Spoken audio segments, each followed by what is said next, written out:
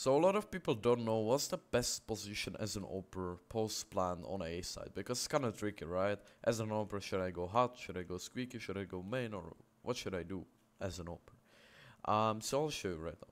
So the best position I think is those red boxes, okay?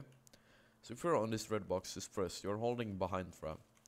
Uh, which first they will check like right side and left side they need to micro adjust your head which is really hard and we have AWP you have one shot gun so you can't miss right uh, you shouldn't miss so yeah that's basically it like you're holding this angle. And the other point is that um, if if they need help main or heaven or they spot the enemy right you can instantly just scope main. You can instantly go here and scope heaven.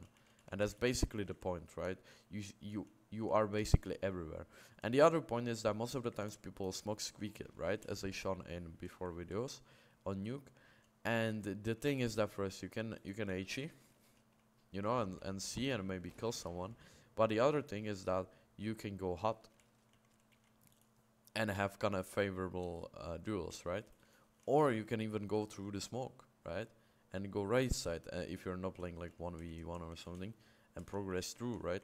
So um, this is the point where you can do basically everything. You can go hot, you can go squeak, you can fake, and uh, th that's the best position, definitely.